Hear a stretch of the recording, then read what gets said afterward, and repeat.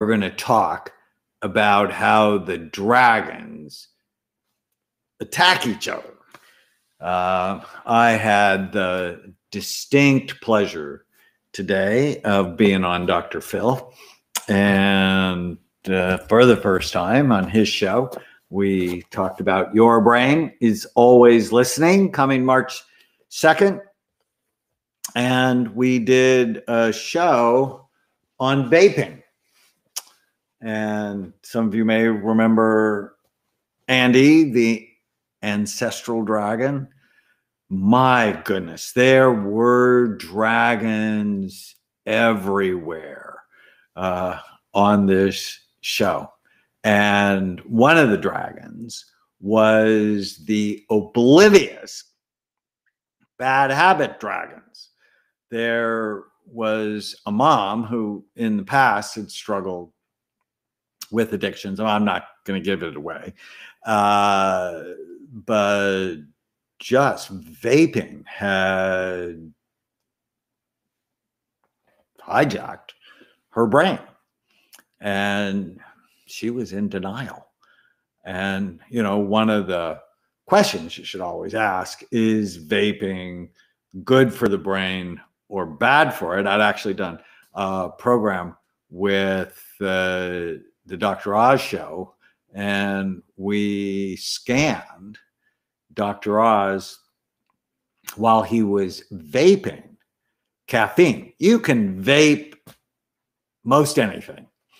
Marijuana, uh, nicotine are the most common, but the vaping activated his visual cortex.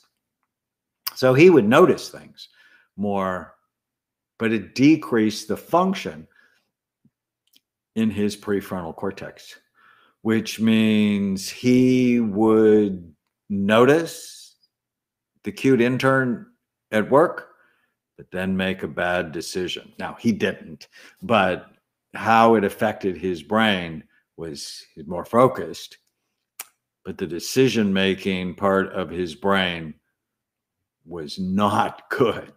And so vaping is an epidemic. A lot of people think it's a healthier form of smoking. Smoking's bad. I mean, bad in so many ways.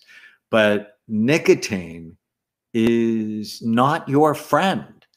Once you start it, you have trouble stopping it.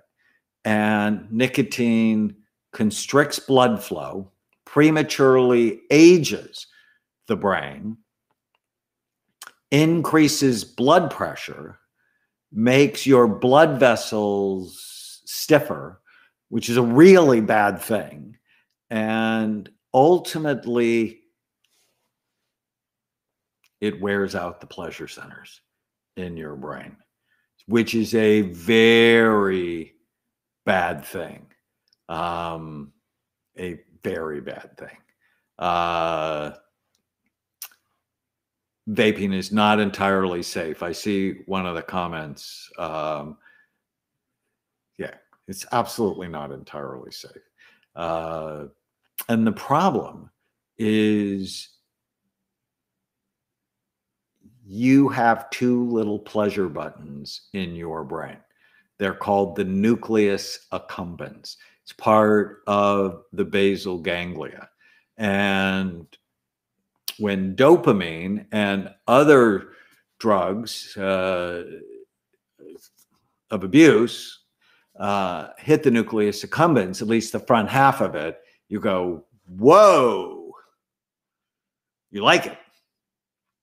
But the problem is it's eight to 10 times stronger than normal things that make you happy.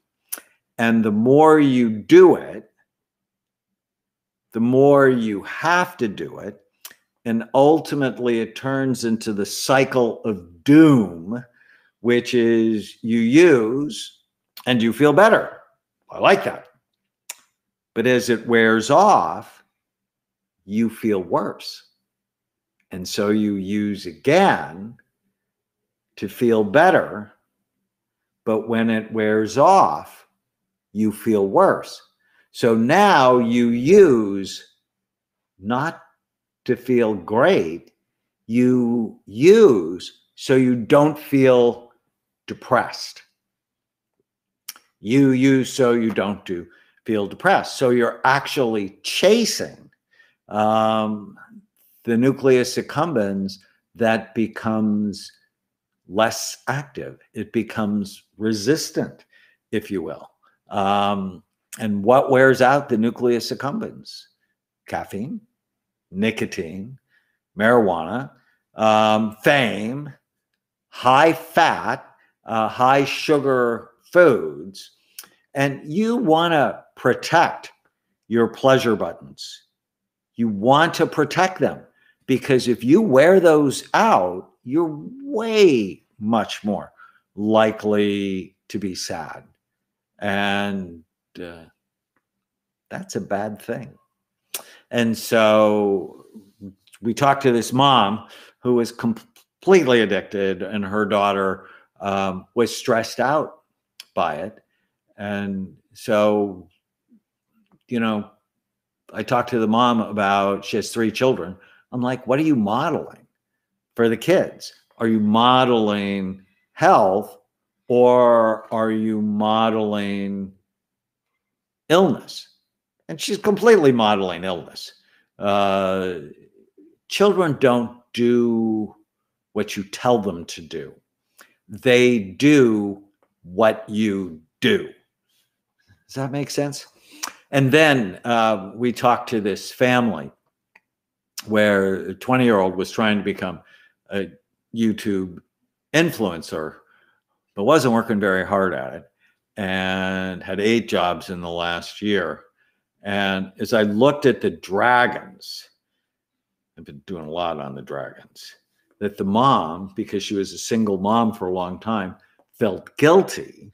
So she had the should and shaming dragon. She also had the responsible dragon, which meant she was doing way too much for this 20 year old kid.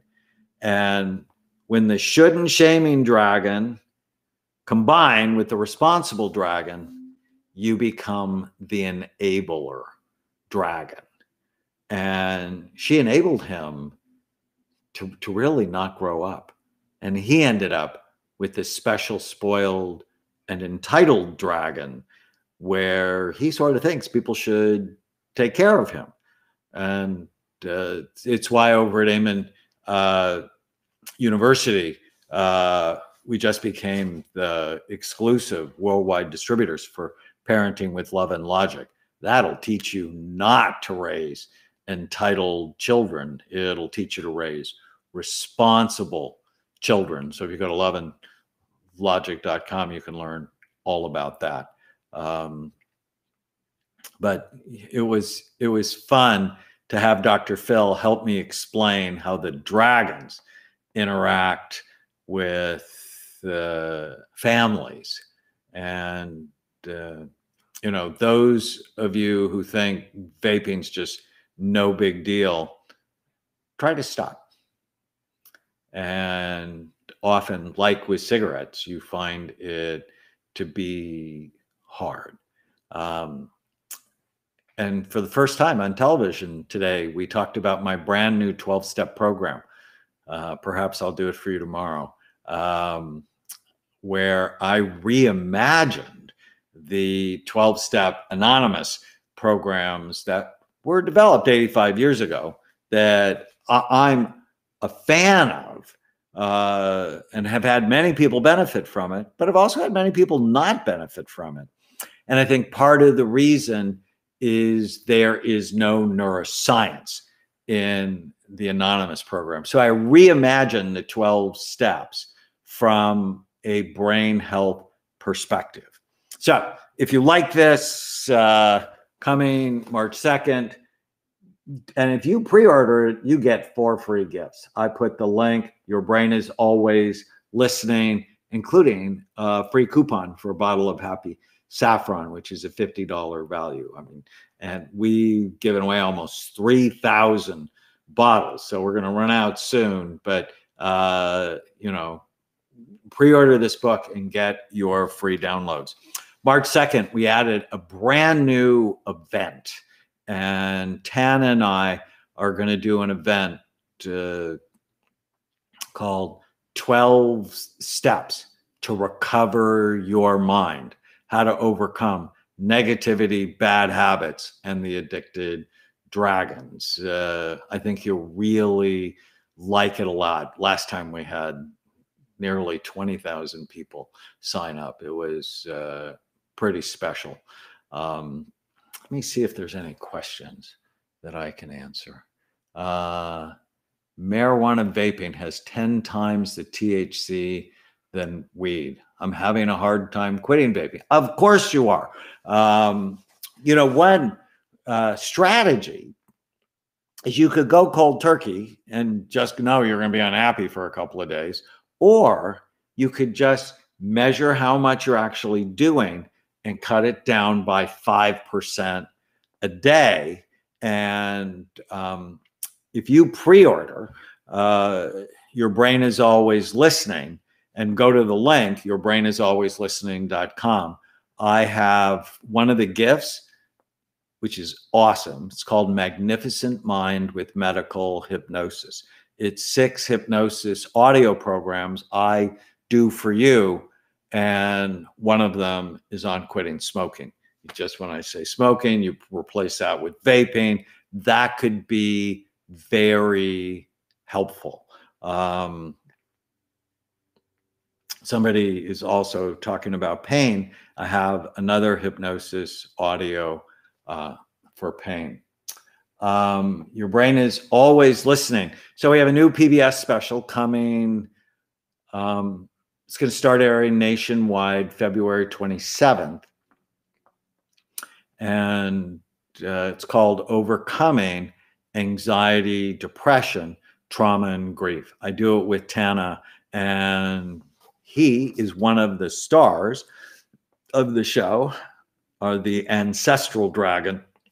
We're going to talk about the anxious dragon, the wounded dragon, the grief and loss dragon, the hopeless and helpless dragon, and the ancestral dragon. It's a fun show. Uh, we have a couple of great guests. Um, all right. Well, I wish you a vape free evening take great care of your brain. One more thought. I was talking to my sleep doctor today, Shane Creado, and uh, Dr. Creado. I said, hey, impact of vaping and nicotine on sleep. Said it ruins REM sleep. And that's the kind of restorative sleep that is uh, so important. Somebody's asking, is it common to have multiple dragons? Yes, actually, the average number, go to knowyourdragons.com. And the average number out of the 13 dragons is for people to have six. So Tana has 10. And when she wrote The Relentless Courage of a Scared Child, read that. You'll totally figure out why she had 10. Um, it's available now on Amazon. And of the 77 reviews, 4.8 on a scale of five stars. So I'm so proud of her. She is awesome. So, event March 2nd. Uh, we'll make an announcement soon, like tomorrow or the next day. And uh, you can pre order the book now and get Happy Saffron, the hypnosis audios, uh, all sorts of other things. All right, everybody. Have a great night.